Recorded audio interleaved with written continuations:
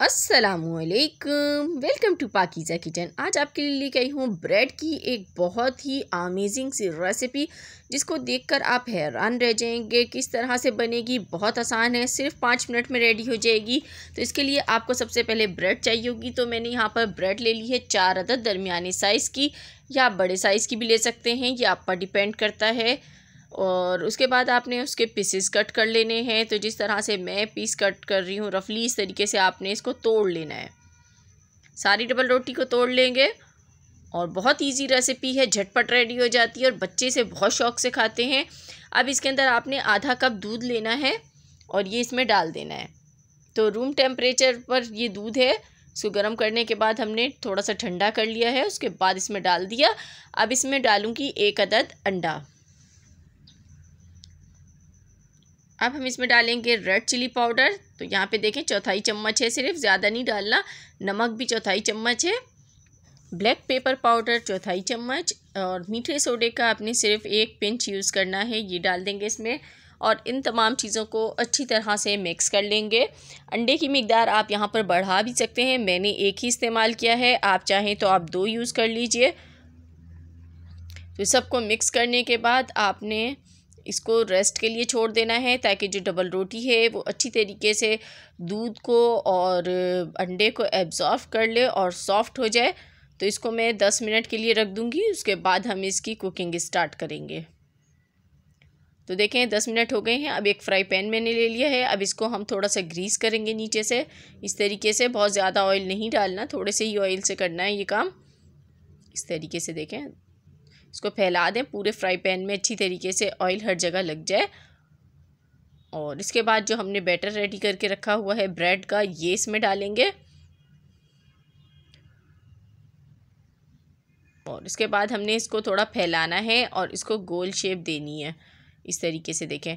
यहाँ पर आप लोगों से मेरी छोटी सी रिक्वेस्ट, जो लोग अभी अभी चैनल पर न्यू आए हैं, फ़र्स्ट टाइम मेरी वीडियो वॉच कर रहे हैं तो चैनल को सब्सक्राइब करना बिल्कुल मत भूलिएगा। तो देखिए, मैंने इसको अब कवर कर दिया और इसको हमने दो मिनट तक पकाया है। दो मिनट में क्या होगा कि अच्छी तरीके से सेट हो जाएगा और कुक होके आपस में जो है अच्छी तरीके से जुड़ जाएगा। उसके बाद आपने इसको पलट लेना है। तो मैंने एक प्लेट में इसको उल्टा करके फ्राई पैन से निकाली और वापस हमने इसको डाल दिया दूसरी तरफ़ से। साइड को चेंज करने के बाद इसके ऊपर टोमेटो केचप लगाएँगे। तो आपने टोमेटो केचप थोड़ा सा लेना है और साथ में लेना है चिली गार्लिक सॉस।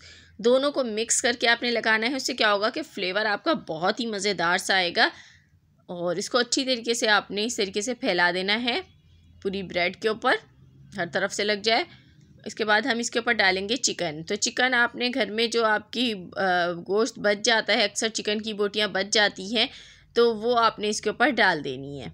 तो ये बहुत आसान है, घर में बची हुई चीज़ों से रेडी हो जाएगी रेसिपी यहाँ पर मैं चीज़ ले रही हूँ स्लाइस चीज़ आप मोजरेला भी यूज़ कर सकते हैं, जो अवेलेबल हो डाल दीजिए। ये डाल देंगे इसके ऊपर और साथ ही हम इसके ऊपर डालेंगे थोड़ी सी प्याज। चॉप की हुई प्याज है। उसके बाद टमाटर डाल दिए चॉप किए हुए। इस तरीके से थोड़े से बड़े पीसेस में कट किए हुए और शिमला मिर्च ले लीजिए, उसको भी आपने चॉप ही करना है, बस थोड़ा सा उस पर डालना है। सब चीज़ें डालने के बाद इसके ऊपर हम डालेंगे थोड़ी सी रेड चिली फ्लैक्स तो देखें कितना अच्छा लग रहा है अभी से ये देखने में। तो थोड़ा सा हमने इसको स्पाइसी बनाने के लिए इसके ऊपर रेड चिली फ्लेक्स डाल दी, इसको कवर कर दीजिए दस मिनट के लिए। तो आपने ये लो फ्लेम पे ही करना है तो देखें दस मिनट हो गए हैं तो चीज़ जो है वो मेल्ट हो चुकी है तो अब आपने इसको निकाल लेना है, इस तरीके से बासानी ये निकल जाता है। तो देखें कितना ज़बरदस्त लग रहा है। हमारा ब्रेड पिज़्ज़ा बची हुई चीज़ों से रेडी हो गया और कितना मज़ेदार है ये। इसको खाने के बाद आपकी हर कोई तारीफ़ करेगा। आपके बच्चे इंतहाई खुश हो जाएँगे। जब भी बच्चों का पिज़्ज़ा खाने का मूड हो, आपने ये फटाफट बना देना है। ना डोर बनाने का झंझट है इसमें, ना ही इसमें कोई सॉस बनाने का झंझट है, ना ही चिकन को पकाने का झंझट है। बिल्कुल इजी पिज़्ज़ा है और खाने में इंतहाई मज़ेदार है। तो तो अब पिज़्ज़ा बनाना हो गया है बिल्कुल आसान। तो ये थी मेरी आज की रेसिपी पसंद आई हो लाइक एंड शेयर कीजिएगा और अपना फीडबैक मुझे कमेंट बॉक्स में ज़रूर दीजिएगा। मिलूँगी नेक्स्ट वीडियो में। तब तक के लिए दीजिए इजाज़त। खुदा हाफिज़।